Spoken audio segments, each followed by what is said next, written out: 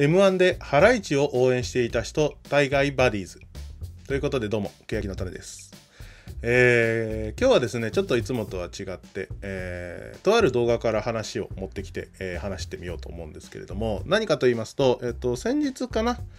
えー、ファーストアニラの直前ぐらいで上がった YouTube の動画でちょっと気になる動画があったというか、まあ、えー、桜坂ファンの方は多分見てらっしゃる方多いと思うんですけれども、セントフォースの吉田裕樹さんが、えー、されてるチャンネルで、えー、グランジの遠山さんを迎えての、え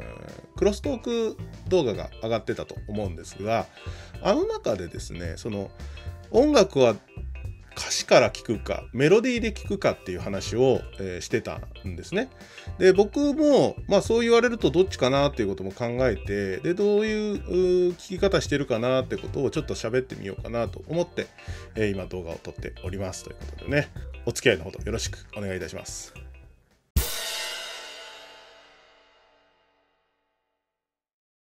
その動画で出てたのは、吉田さんは、まあ、えー、歌詞から入ると。で、彼女の場合はどうしても、あの、秋元康ファンだというところもあるので、まあ、歌詞をしっかり読んで、で、えー、歌を楽しむ。で、一方の遠山さんはメロディーを、まあ、あ重視している。歌詞は後になってから、えー、あ、こんなこと歌ってたんだってことに気づくっていう話をされてました。で、僕はどっちなのかなという考えた時に、僕完全にメロディー派だったんですね。ということはどういうことなのかなといってちょっといろいろ調べてみたところ日本人のうち、えー、大体歌詞で音楽を楽しんでいる方が3割でメロディーを重視している方が7割っていう統計が出てるそうです。まあ、ということはまあほとんどの方がメロディーで楽しんでらっしゃるっていうところなんですけれどもまあ、えー、どういう考え方が違うのかっていうと歌詞の方歌詞を重視される方っていうのはどちらかといったらあの経験とか自分のですね、え体験を、えー、重視して音楽に接している。一方でメロディーの方は直感的に、あ、これなんとなくいいなって思いながら音楽を楽しんでっていうところがあるそうです。って考えた時になんか歌詞派の方がちょっとインテリジェンスな感じがしますよね。もっと掘り下げてみるとメロディー派は右脳派であるとか、えー、右脳っていうのは感情とか芸術的なことを考える場所ですね。一方で、えー、左脳派は歌詞派であるっていうのもあるみたい。まあ、結構いろいろこうやって なんか心理学的にね区別されてるところもあるようですね。で日本はですねもともとは歌詞重視だったっていう話が出てきました。でどういうことかと言いますとやはり演歌であったり歌謡曲であったりね、えー、民謡であったりっていうものっていうものは似たようなメロディー節の中で歌詞によって情景を描き分けるっていうことを昔はされていた。確かに言われてみればそうですよね。演歌とかが聞くとよくわかります。結構なんか節は似てるんですけど、春になったり夏になったり秋になったり冬になったり花鳥風月が出てきたりっていう風にね、えー、それぞれにやっぱりこう変化がつく。で、えー、それが変わってきたのが、まあ、60年代後半だと言われてます。で、60年代後半って何があるかっていうと、グループサウンズ、それからポップス、フォークなど、えー、海外の音楽の影響を受ける、えー、時代に入ってくるわけですね。で、確かに海外っていうのは、もう当然のことながら、まあ、英語が分かれば歌詞は分かりますけれども、まあ、分かんないことが多いわけですよ、得てしてね。そうなってくると、当然のことながら、メロディーの方に重点的に、え重きを置くようになっていく。で、ここで多様なメロディーが生まれてきたっていうところがあるようです。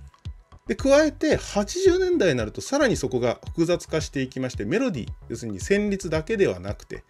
それにコードとかリズムとか、えー、楽器の音色ですね。それそういうもののそのサウンドとしての楽しみ方っていうのが増えてきた。えー、エレクトーンなんかの電子楽器が増えてきたのにもかなり影響を受けたように感じます。で、えー、カラオケ文化っていうのが、まあ、日本は当然あるわけですけれどもこのカラオケをやることによって当然歌詞っていうものを目にはするんですけども覚えるというところまでは発達しなくなってしまった、まあ、これによって、まあ、メロディー派が増えていってる要因として一つあるのではないかなという考察もありましたね。まあ、そう考えていくと日本人はかなり、えー、メロディー重視になってきているもともとは歌詞重視だった人が多かったにもかかわらずメロディー派が増えてきたって考えるともしかしたら自然なのかもしれないです。でそうした時に、えー、まあ自分に置き換えてみるまあ桜坂の曲に置き換えて考えた時にですね自分がどうなのかなっていうのを具体的に見てみると例えばですねまあソニアえー、流れ玉のカップリングですけれども、まあ、みーちゃんセンター僕的にはすごく好きな楽曲なんですがあれを最初に聞いた時、まあ、僕音楽聴く時は必ず映像がリンクする感覚があるんですね。なんかこう視覚的なイメージが湧く。であれを最初聞いた時に僕のイメージでは白い雲の中を走る飛行船が思い浮かんだんですこれが何が理由でそうなったのかっていうのは分かんないんですけども、まあ、なんとなくそういうイメージが湧いたところが歌詞を読んでみるとまあ少女の淡い思い出大人になろうとする、えー、成長していく少女の淡い思い出とかそれをま伝えようとする姿っていうものが描かれてるわけですね。かなりそこにギャップっていうのは存在する。まあ、これを見ただけでもかなり、えー、歌詞を見てない聞いてないんだなというのは感じるわけですね。ところが一方で、えー、バンという曲がありますね。でバンっていうのはあ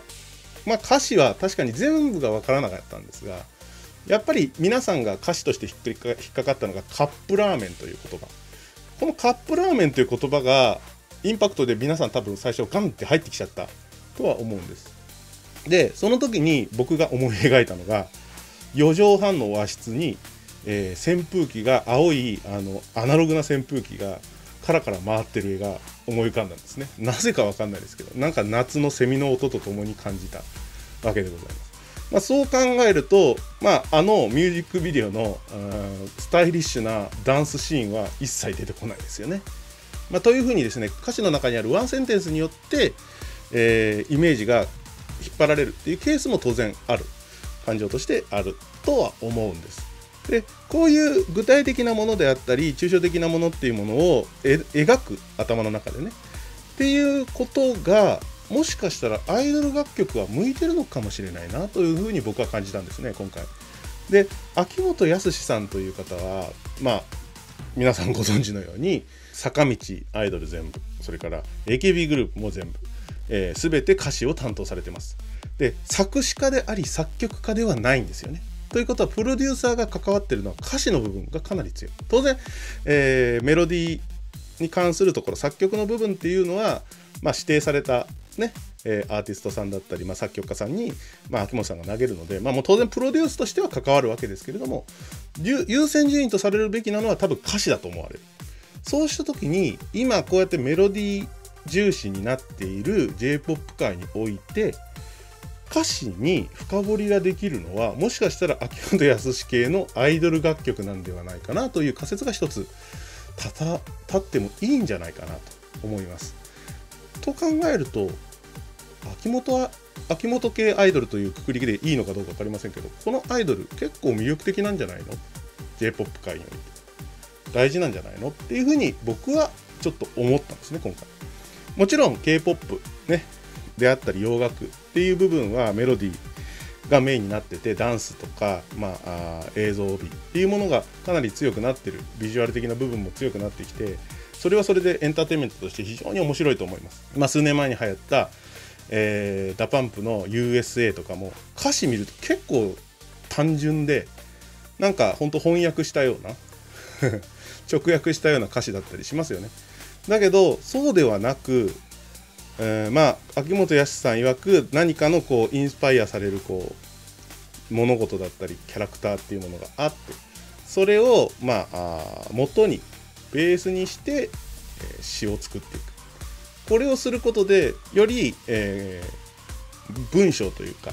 えー、歌詞に、えー、重点的に置ける。古き良き日本の音楽の根底を維持できている数少ないもしかしたらコンテンツになってるんじゃないかなというふうに僕は考えました今回。まあ、それがいいかどうかっていうのはまた別の話であってでもそういうのに触れることでもしかしたら経験値、えー、経験を重視して、えー、より豊かな想像力とかを鍛えるいいきっかけ作りになるのがもしかしたら坂道系アイドルの楽曲であったり AKB グループのアイドル楽曲だったりするのかななんて思ったりするのでまあ、当然全てが全てそうではないですよ。あの 例えば乃木坂の「ポピパパパー」なんて歌詞なんてもう関係ないわけですから。あれこそもうメロディー重視サウンド重視ですからね、うん、あれはまたちょっと実験的なものであってもしかしたら表題曲っていうのはそうではなくてかなりその歌詞の中に含まれる、えー、メッセージだったりっていうものを紐解く、うん、ことができる、えー、音楽だと思いますので是非皆さんもそういう気持ちで今一度今までの楽曲を振り返ってみるのもいいんじゃないかな。なんてちょっと今回は思った次第でございます。ということで今日はまあ音楽についてえー、歌詞派なのかメロディー派なのかということをちょっとうんちく臭く喋ってみましたけれども。ね、えー、まあでもいい考え方なのかなと思うんで是非、えー、歌詞も注目してみようかな。ってなってくるといよいよ歌詞を掘り下げていかないといけないななんて思いますが僕はどっちかというとどうしてもメロディーとかもっと言うと僕の場合はね MV を重視するケースがあったりするんでまあ、そこを考えるとねまた難しい話になってくるとは思うんですけどということで、えー、今回はこの辺で、えー、おしまいにしようと思います、えー、チャンネル登録高評価それから、えコメントなども気軽に送っていただければと思います。それからどんなこと喋ってほしいとか、えこれネタにしてもらえませんかとかネタのね提案なんかも気軽にしてもらえると非常にありがたいかなと思いますんで是非、え皆さんも、え一緒にえ、音楽を楽しむ、え、坂道を楽しむ桜坂を楽しむということをしていってはどうでしょうかということで今日はこの辺でそれではまた。